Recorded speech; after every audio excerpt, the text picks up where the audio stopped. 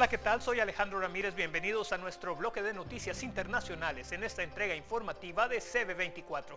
Iniciamos en Estados Unidos donde como en un juego de ajedrez en el que sin prisa los oponentes hacen sus movimientos y esperan la respuesta del oponente y tras un prolongado enfrentamiento público con el ahora exsecretario de Justicia Jeff Sessions, el presidente estadounidense Donald Trump hizo el jaque mate y finalmente el fiscal presentó su renuncia, según indicó a petición del mandatario.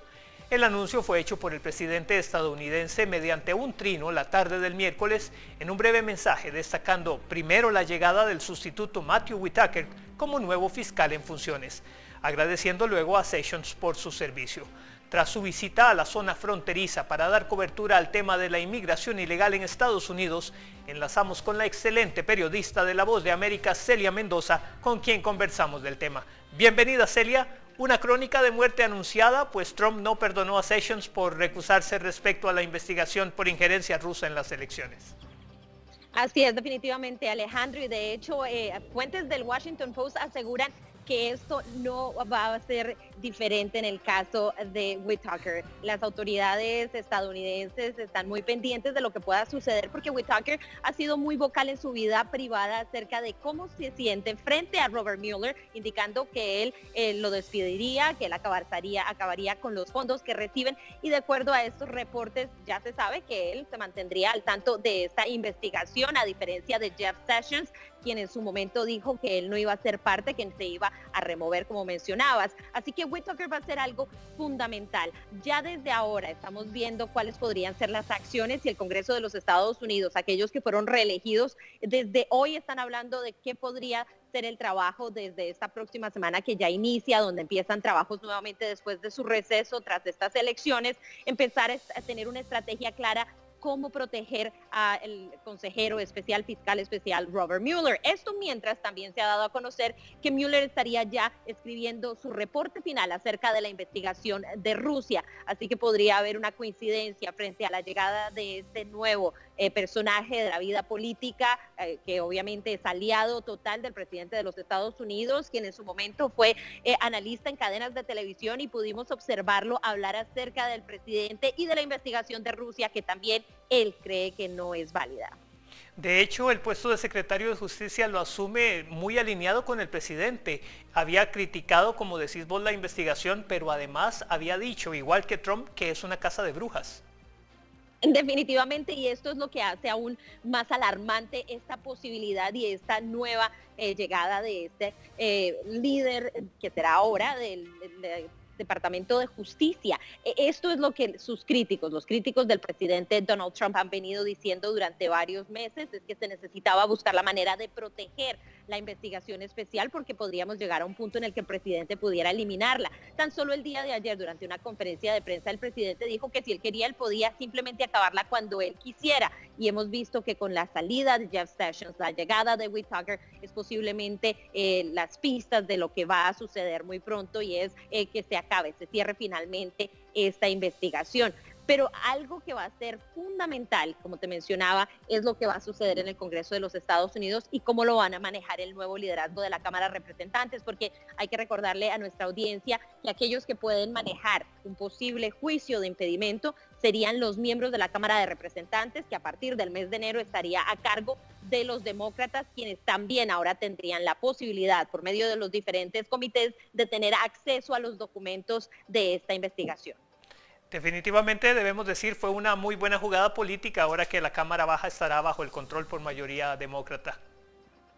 Así es, y lo hace justo antes de que ellos puedan entrar a esta posición. Así que vemos eh, algo que no se ha visto en los Estados Unidos y que genera muchísima preocupación, no solamente por parte de los demócratas, pero también algunos republicanos. Recordemos que el mismo eh, senador Mitch McConnell, quien es el jefe del partido eh, republicano en el Senado y quien mantendrá esta posición después de que ganaran y mantuvieran la, la, mayoría en el Senado estadounidense, inclusive agregando alrededor de dos sillas adicionales, indicó desde el principio de que es importante que se mantenga esta investigación y que no se vaya a despedir a Robert Mueller en medio de este trabajo. Pero lo que hemos escuchado de Whitaker es que no se necesita despedir a este fiscal especial, pero se puede eh, bloquear la investigación utilizando fondos para que no tengan la manera de seguir adelante con ella.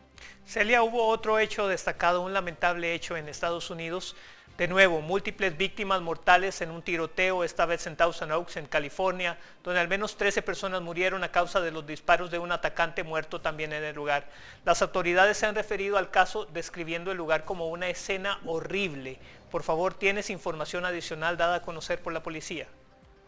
Así es, de hecho la policía ha sido extremadamente detallada en la información. Hace pocos minutos uno de los policías, un policía quien murió ahí, Ron Holtz, quien era un veterano de 29 años, eh, de hecho se iba a retirar el próximo año. La última llamada que tuvo fue con su esposa minutos antes de llegar al lugar de los hechos. Fue trasladado desde el hospital donde murió después de tratar de entrar a defender a estas personas y escuchar los disparos.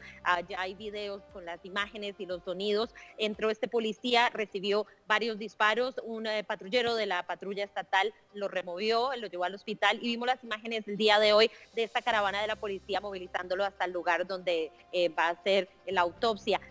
Estamos hablando de 11 personas. Uno de ellos eh, ha sido identificado. Su padre habló con los medios de comunicación, un joven de 22 años, quien eh, se llama Cody Kaufman, y las autoridades van a seguir identificando a las víctimas. El padre habló frente a los medios de comunicación totalmente entristecido, con dolor eh, de lo que sucedió allí cuando este hombre, quien es militar, eh, retirado de 28 años, se llama Ian David Long, entró hasta este lugar, subió a la puerta ah, con una arma de una pistola G21, un Glock 21, abrió fuego primero al jefe de seguridad que estaba en la puerta de este lugar, que hay que recordar que es un bar de música country localizado en esta área de California donde hay muchas universidades y estaban en la noche de, diversión para los estudiantes de las universidades. Abre fuego al policía, luego se voltea a la derecha, mira, regresa, según. Eh, lo que ha dicho las autoridades, y vuelve y abre fuego matando a más personas de seguridad y luego dispara